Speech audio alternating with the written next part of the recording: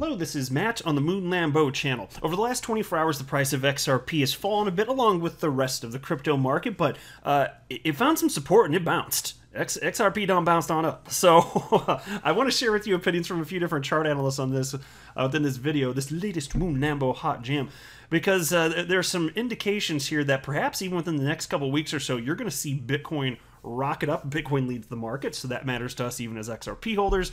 And then inevitably at some point, uh, XRP will follow suit. That's certainly my very strong suspicion here. So, uh, plenty to talk about here. Lots of reasons to be positive and feel good about and excited about what's happening within crypto markets right now. But um, I do want to be clear. I don't have a financial background of any kind. I am not offering financial advice, and you should not buy or sell anything because of anything I say or write. I'm just an enthusiast who enjoys making YouTube videos about crypto related stuff, but it's, it's purely as a hobby because I don't have friends and family that are interested in uh, crypto just like uh, just like I am, or, or you are. I, I, tell you, look. So most of, I, yeah, I think it's fair to say most. Most of my friends and family actually do hold crypto, and they don't follow it. And I'm not convinced that they really hold very much. I'm not. I don't think that that like by and large, most of my friends and family uh, really understand how truly life changing crypto can be. Uh, I mean, my gosh, the amount of money being made here, like even today, after 12 years of the asset class existing, like it is real. It is very real. People are experiencing life changing wealth very regularly. Now, as I record this, uh, XRP is at a buck 14. Bitcoin is at $44,769. Market cap for the asset class 1.94 trillion, and Bitcoin dominance uh, sliding again. It's down to 43.29 percent. Um, you can see XRP got down to about a buck 08 uh, within the last 24 hours. 24 hour high was a buck 19, but it, so it hit that lower end and then it, it, did bounce on up along with the rest of the crypto market, which is is good to see. And you've got uh, the crypto fear and greed index sitting at 70 out of 100, indicating that the market is still feeling very greedy, right? Well, very not they don't use the word very here, but greedy. There's a so because uh, look, there's greed and then there's extreme greed. So they're, they're feeling people are feeling greedy, you know, they're feeling greedy, but uh, I don't think it's time for that to be flipping. Uh, you know, in all likelihood, I don't think it's time for that to be flipping uh, into fear anytime soon, uh, based on what I'm seeing from the analysts that I follow on a regular basis. Now, here's a tweet from my fellow XRP YouTuber, the Blockchain Backer. Uh, he shared a chart, which I'll make full screen in just a moment, but first let me read what he had to say. We've been keeping our eyes on the leaders for signs for the broader market. During the dip yesterday, Solana and Luna both back tested their all-time high and today have set newer highs. And so, look, so that's the question. And so this, and I'll make it full screen while I'm talking. Uh, th- this is what we've been talking about. I've been talking about this on my channel for the longest damn time. You want to see um, individual cryptocurrencies start to pop off. I've been talking ever since the market tanked, which I, I believe it was May 19th, of memory serves. Uh, when the market started tanking and people were losing their ever loving minds, I sure as hell wasn't. I was just having a fun time being in crypto because I knew that like the price pullback was temporary. I, I felt very strong about that. Uh, but anyway, when that when that started happening, I said, okay, well, wait, you know. uh, it's it's way more likely than not we're going to see a final leg up and i've articulated my reasons so many times for reasons i believe that i'm not going to do it again right now but I, I firmly believe that there's, I've been saying it for months, that there will be a final leg up. And so this is what you want to start watching for. You start to see some of these individual cryptocurrencies like uh, Solana and Luna start popping. Uh, these these are the signs that I've been saying, yes, look for. And, and the blockchain backer was pointing that out right here and uh, and and you just wait though. So like this is not the grand finale though. The grand finale will be like there'll just be multiple coins every single day. It'll seem like for a span of probably like four to six weeks because there's over eight thousand cryptocurrencies. All of them are going to go. They're all going to go parabolic. Uh, the chart formations, if history repeats, every single chart is basically going to look the same. It's going to be this huge parabolic run up, and then uh, and, and, then it's you know bubble fully inflates and then pops. It'll look like here. I'll do the all time XRP chart. Uh, so this uh, this parabolic move up right here when XRP ran from 20 something cents up to almost four bucks. Uh, every single crypto, every pick a large or mid cap coin, and I do mean literally pick any large or mid cap coin in crypto, they all looked like this. Every single one of them. And so that shows you that the market was not uh, investing and pumping these coins up based on fundamentals. It was just based on money cycling through the crypto sphere. It wasn't about that. Every single one of them went up. Money cycled, which is why those people that had positions before it pumped we're doing well. And this is this is why it can also be dangerous because if you don't understand that this is how humans behave and that money will eventually hit whatever you invested in at some point, like the, the, you, you can experience FOMO and that's an emotion. And if you act on that emotion, there's a chance that something might not go so well for you. And so I'm not telling you to buy or sell or hold anything. You do whatever you want. I'm just saying that this is just something that humans do. You're holding you're holding whatever you're holding, and then it feels like all every other coin but yours is going up, and uh, and, and, then you, you, if you respond emotionally, you get out of that position, and then you chase something that's already run up, so there's not the, as much of a multiplier effect, if any. Uh, in whatever you just shifted your money to, and then now your money's out of whatever wasn't moving, but then eventually that goes, and then you miss that opportunity, and that's what happens. So that's why, for me, um, I'm not, I like, I don't feel any sort of FOMO when there are coins going up that I don't own and I happen to not own these two that are pumping, and do you think that I shifted money into them, seeing that everybody else is doing it? Uh, hell no is the answer. The, the, the, absolutely freaking not. I, I, don't chase things like that. that. That's what your your stereotypical retail investor does. Um, I don't think it's it's a good idea, so I don't do it for myself. You do whatever you want. Again, we're all adults here. I think it's not a good idea for myself, and so I personally am not going to be behaving like that. Uh, and you can also see this. I don't want to read this article, but I, I wanted to, to, highlight just a little maybe little quote from it. But this is from the Daily Hodl. New investors adopting Doge at levels not seen since 2017 bull run, according to Chainalysis. But there's a catch. Um, and so here's part of, a, of a, a quote from Chainalysis. Of course, demand and price for Doge is largely driven by social media, but we can judge the strength of the response uh, to this from actual activity on the blockchain. The response we see is that Doge is currently being adopted by new investors at a level not seen since the late 2017 bull market.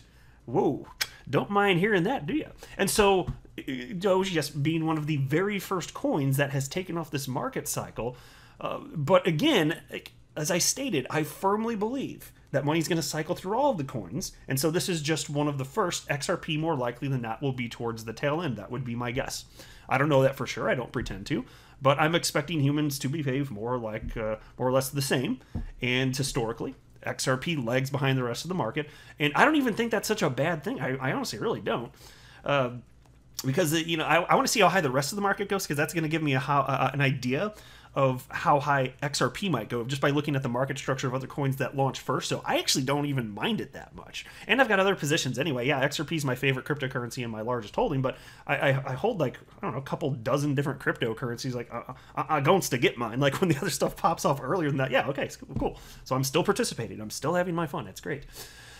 Uh, now, here is a tweet from a, a, trader named Crypto Trooper who wrote Bitcoin $50,000 swiftly and then shared this chart uh, indicating that within, you know, roughly maybe the next couple weeks or so, this little part we circled right here, uh, thinking Bitcoin's going to be breaking $50,000. Now, somebody tagged chart analyst Credible Crypto and asked for his thoughts on that, and he seems to agree. He wrote the following lines up with my expectations as well.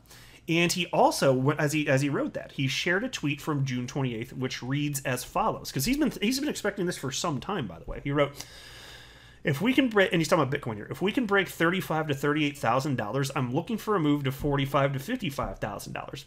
If we can get to fifty-five thousand dollars, I'll look to hedge short. I know if we manage to get there, many will be euphoric, calling for a new all-time high. When in reality, that region is the most likely place to see a midterm rejection. Have a plan. And by the way, he's not saying that that means it's the end of the bull run. He's saying that once you run up to that level, in his humble opinion, more likely than not, you're going to see a pullback. But that's just because nothing goes up in a straight line forever. And so then, in response to that, um, somebody responded. Somebody named Eric asked uh, Credible Crypto the following: Didn't you say the same, uh, exact same thing about XRP and one dollar? Then it pumped thirty percent past, and your short got liquidated. LMAO. So there's somebody here who just uh, this guy just wanted to put out a jerky comment. People do this though. I'll tell you what, man. Like um, the the chart analysts in crypto they get the most harsh comments compared to like anybody else in crypto.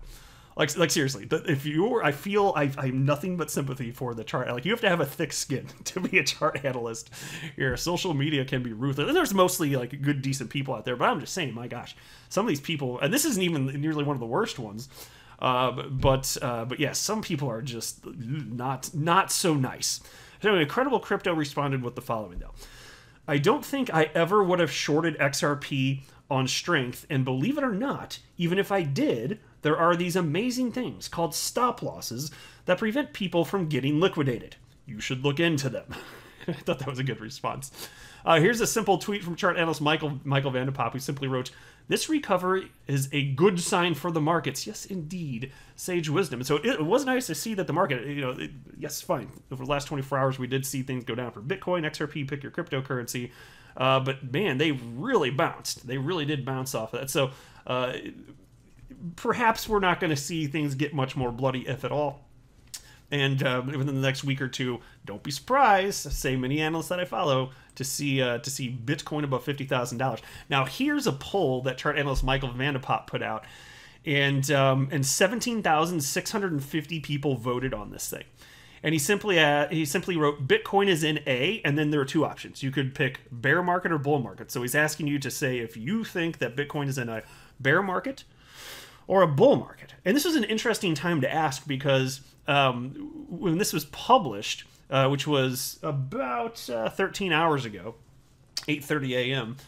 Uh, like, like, this is when things were looking a little bit scarier, right? Uh, we we had seen the pullback, and then things ended up bouncing up, so people were probably a bit more fearful. And then whatever is happening in the moment, uh, just emotions. Oh my gosh! And then people respond accordingly, right? Uh, and so, um, 76.6% of people say that Bitcoin's in a bull market, but 23.4% say bear market. And if you had asked, I bet 24 hours before that, it probably would have been like, I don't know what, but who knows? 90% would have said bull market. I don't know. Uh, I just thought of it. I was like, wow. So the market started to tank. Michael van de Poppe was just taking the temperature in the room, and there you go. So about a quarter of humans out there that read this. He's got a big following, mind you. He's got uh, 300, 370,000 followers on Twitter. So like that's a that's a big sample 17,650 and almost a quarter of the people that responded think that bitcoin's in a bear market. My my friends this is your competition.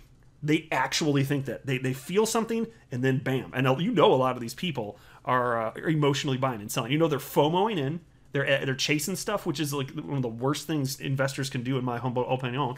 And then they're panic selling. And, and now we're in a bear market and that's, bet if he has the same poll like tomorrow, assuming we like say say price goes up again tomorrow, well, they'll change their mind. Like, oh, I, oh, not bear market, oh, bull market now. Like, come on, like what in the ever loving hell, guys? Come on. this is why we cannot have nice things. so I'm really excited about this. Um, XRP, uh, it's just an inevitability. At some point, XRP will hit its all-time high and then enter a new realm of price discovery. That is my strong suspicion. Let me know what you think below, though. I do love hearing what y'all think and how you're feeling about the markets today. But as far as I'm concerned, despite this little pullback, hey, nice bounce, things are looking good. We're trending upward still. Uh, we still got that final leg up for this market cycle. Then the bubble will be fully inflated at some point, and it will pop, and then you're going to see some true panic. You will see blood in the streets, basically. Yeah. Uh, but but I'm gonna have fun though, because like I will be purchasing everybody's fear. That's that's what I'll be doing when that happens. I'm not a financial advisor. You should not buy or sell anything because of anything I say or write. That would be a very, very, very bad idea. Until next time, to the moon, Lambo.